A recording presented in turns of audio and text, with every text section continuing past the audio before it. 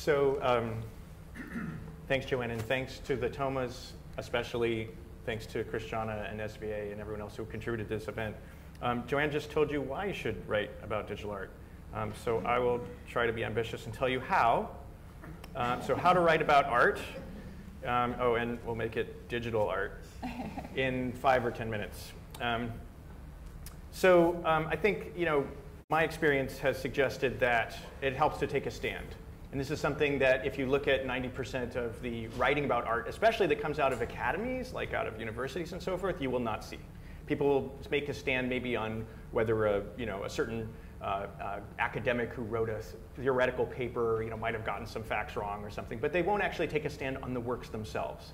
And I think when we have to say we're writing about art, we really are writing about art, not just general digital culture, but about specific pieces, not individuals, but individual works, and whether they are good or bad. So uh, At the Edge of Art was a book I wrote um, in 2006 with Joline Blais, where we were looking at art practiced um, on the edge, meaning artists on the cutting edge, which we always think of, oh yes, artists on the cutting edge, but we rarely go beyond that edge and say, who are people out there who are doing work like art, but are not recognized as artists, and don't even call themselves artists. So the goal of this book was to go past that and sort of say, who is out there? And in order to do that, we had to make value judgments. And value judgments mean this work is good, that work is bad. And that's something that I would recommend you do as an art writer, a, because there's so little of it, but B, because taking a stand makes your writing more exciting and it makes the field more invigorating, because then people get in debates with you. And you might think that as a student, well, I don't want to draw attention to myself, but as a writer, you do. That's why you're writing. Um, so, um, you know, people look at, I look at this diamond encrusted skull by, you know, Damien Hirst, um, and um, people would say, well, that's problematic. You know, I don't think you should say it's problematic. I think you should say it's bad. Um, and I can talk about why it's bad, but um, that's a, a, level of judgment, whether you agree or not with this particular one, that will draw people out. And well, what do you mean it's bad? Damien Hirst is a genius, you know, and suddenly you get a conversation going. Similarly with things that you might like, like Joan Jonas, well, it's not without merit. okay, I think you mean that it is good, right? Let's say that it's good, and let's say why that it's good. Let's not, you know, kind of polar punches. Also, I think it's good to butcher sacred cows. Um, in other words, there are certain things that you're not supposed to talk about in the art world. Um, the more recent book, uh, 2014, Recollection, or Recollection, Rick, how do we name it? I don't know. We don't know how to, how to speak the title. It's variable, yes. Art, New Media, and Social Memory talks about, um, talks about how to preserve works in new media and also ephemeral and performative you know, formats. And um, it really deviates from the um, from the norm of, well, you, you consign it over to a conservation lab and you let the experts take care of it. We're basically saying, no, the experts don't know how to handle this, and we should be looking outside the museum walls to find solutions. Something that we think, frankly, will, well, I think, will piss off a lot of conservators and curators. What's the result we got? Well, the result we got was a review like this from a guy named John G. Hanhardt. This book will arrive like a bombshell in the twin citadels of art museums and conservation departments. Yes, that's what you want to hear, right? You don't want to hear, okay, someone has contributed yet another book to this exciting new field that no one's going to read, right? You want to say, this is a controversial book. This is something that people are going to start arguments about. Um, cut the crap. What's at stake constitutes Pipilotti Rist's ludic return to the chromatic semiotics of pictorial space. No. Pipilotti Rist plays with color, okay? Speak in language that ordinary people understand. We get used to a level of expertise being associated with jargon. I don't think that's true. I think that there's other fields that have a lot of jargon. Um, I studied high energy physics, as uh, Mark Tribe let out of the bag. Um, and there's a famous guy in that field named Richard Feynman who was doing work that it took decades for, for people like me to even half understand. And he said, if you can't explain your theory in ordinary terms to an average person, you don't understand it. Well, if Richard Feynman can say that, I think art writers can say that too. What else can we do? I find it best to write when I'm outraged or when I'm in love, right? It's hard for me to write about something that I don't feel very powerfully, you know, powerful, passionate emotion about. So uh, there was a initiative uh, around uh, 2000 called Dot Museum, which really pissed me off. It was an attempt to create a higher level domain like those suffixes you see .com, .org, .net, but just for museums. And it was probably well-minded. It came out of sort of this, this scientific natural history museum movement. Um, I won't mention names. But uh, their goal was to get all the other museums around to adopt this. The problem for me was that it was an early time in the web when people were trying all kinds of different models for museums. There were things like the Web Museum, the Web Louvre, which was better than the actual website for the Louvre. Um, there were things like Rhizome, which has a collection, and yet at the time, according to the International Council of Museums, did not qualify as a museum. So this dot museum would have drawn a line right down the middle of all these interesting online experiments and put the legitimate brick and mortar museums on one side and all these iffy, crazy artist experiments on the other. I thought that was wrong. I wrote an open letter. Uh, lots of other people joined in. And today I'm very happy to say that Dot Museum is actually owned, that domain, by less than 10% of brick and mortar museums today. So it was a flop.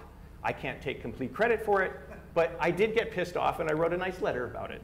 Um, so when you find something that's, that impassions you, it usually is best to go and find, like, it's, it's, it's rare that I, you know, walk out of a gallery, say, and, and see a, a work that I hate and then go and decide I'm gonna, I'm gonna attack that work at home. But people do say things online in articles, in comments, and email lists that I feel like, okay, here's a way where I can be in dialogue with people.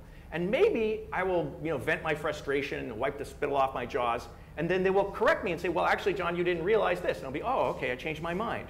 We both learned in that process. So dialogic, the, the, internet gives us a lot of places where we can have dialogue with people.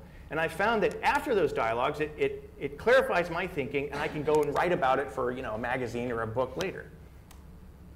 I also think you should preach to the heathen. We're used to preaching to the choir, right? I'm kind of preaching to the choir in this room. You're all new media art cognoscenti, or students thereof. Um, and I was invited to do reviews of books in the field of new media by the Ludwig uh, Boltzmann uh, Institute um, in Austria. And I said, well, you know, I'm happy to write these reviews, but I think who's going to see them? And they said, well, we're going to create this whole new part of our website where people go. And I was like, I don't know how many people are really going to go look at these. Tell you what, I'll write the reviews, but I'll write them on Amazon. Like, well, why would you write them on Amazon? Who's going to look at them there? Everybody's going to look at them there. People go to Amazon to look for books. I'm going to write reviews about books that people would not ordinarily see, and then they'll go and look at those, and maybe they'll be recommended, and it will continue. And I can't say whether more people bought these books about you know, new media culture because they were on Amazon, but I felt better because I felt like I wasn't just preaching to the choir. Um, publish promiscuously. I recommend publishing in you know, nice peer-reviewed journals books if you can get them, magazines, sleazy art magazines, great, but also publish in blogs, publish in comments, publish in email forums. And when you do, when you do get that contract from, ooh, I got a contract from, you know, MIT Press or, you know, whatever, it'll say you're handing over your copyright to us and you can't post it on your own website. And what I do is I go in with a little pen and write that out, cross that out, and I send it back to them. I have never, ever had a publisher return to me saying, hey, you have to, you have to give us the copyright. I always write in, I can you know, archive on my own website. What that means is basically anyone can always access your writing. Because a lot of times with these journals, they're behind a paywall or they're hard to get to, people can't find them, and you can't do things like repurpose them as like an Amazon review or your own blog. So um, I, you know, this might be something you're not comfortable doing when you're an emerging writer, but certainly once you've written a few articles, I strongly recommend crossing it out and writing in your own terms. You'd be surprised how often they have no problem with that. I think stamina counts, okay? Um, I've been at this for a while, um, and I've had my share of setbacks. You know, when I applied to be uh, at the Guggenheim, it was to be a guard. They mistakenly hired me as a curator. True story. Um, when, I apply, when I submitted my first article to a sleazy art magazine, which won't be named, but it's the one on the left, um, I actually got some advice from someone who had published before who said, don't bother to write the whole article. Send them an abstract you know, a paragraph or a couple paragraphs, and, and maybe some illustration ideas. And then if they accept it, then you can write the whole thing and you won't have wasted your time. So like, okay, I'll pitch this article to Flash Art, and you know, I wrote a couple of articles or a couple of paragraphs, and I made some color copies. Yeah, back in the day we had color copies of, of artworks that I wanted to include as images, and I sent them off to them. No, didn't hear a word. All right, well, you know, there it goes. Uh, they didn't publish it. Three months later, I see the magazine come in, they publish my abstract. Along with the shitty color copies that I sent just as ideas. I was like, oh my gosh, everyone's gonna hate me. I never even got permission for the, the images. You know what? I survived, right? You just, you have things like that happen and you keep going. Um, was a column. This was this crazy magazine that just started up to cover digital art. Um, I was, you know, they said, hey, you know, would you like to write a column? I said, sure. I didn't realize how much work it is, but yeah, writing a column every month gets you out there, gets your name out there. And it's busy, it's hard. You kind of, you know, it's like an endurance, like a marathon. Magazine folded after, after two years after the dot-com bust. But that kind of got my name out there and got more, you know, kind of attention after that. Cultivate worthy adversaries. We think that the people who disagree with us are to be silenced or argued you know, out of existence. They are our bread and butter, the good ones, not the people who are trolls and like, meaningless criticisms. But if you can find people who disagree with you intellectually and well and articulately, they are invaluable.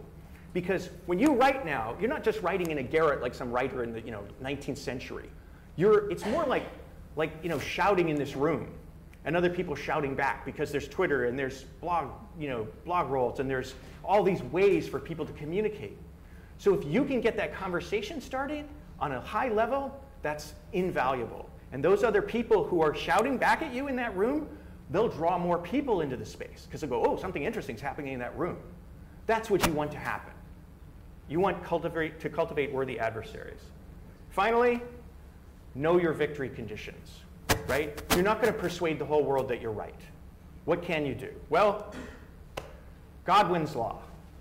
Godwin's law says once someone on an email list or some other forum context starts comparing the situation to fascism and Hitler, no intelligent conversation can happen after that.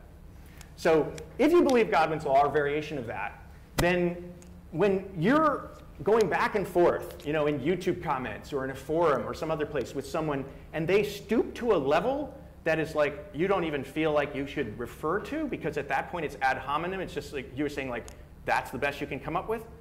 Just stop. Just walk away. You have won. That is a victory condition because they have stretched themselves out so far that they've embarrassed themselves. I remember a story of, uh, uh, I used to study uh, Tai Chi, and a friend of mine did push hands in this park in China uh, where you kind of try to push each other over, but it's very gentle. And there was an old lady, and she'd get all these big strapping young guys to go do push hands with her, and they would you know, throw each other across the park, and she would get to the point just when they were off balance, and then she'd let go and smile and bow. And that's what you want. Um, the other victory condition is when other people have your idea, and they think that they came up with the idea and they talk about your idea. And I've had this happen a fair amount of times. Once a very well-known curator started talking about, oh, you know, when we look at Dan Flavin's work, that could be a, you know, a problem because how are we going to preserve that in the future? And that could apply to digital work too. And I was like, yeah, right? The victory condition is not that you win and you get all the attention. The victory attention, eh, condition is you get some attention, but mostly your ideas get attention. Because if people go back and look, they will see that those ideas originated in you, and those ideas will have a bigger life than just you alone. So that's how to write art criticism in 10 minutes. I look forward to the conversation. okay. Thank you very much.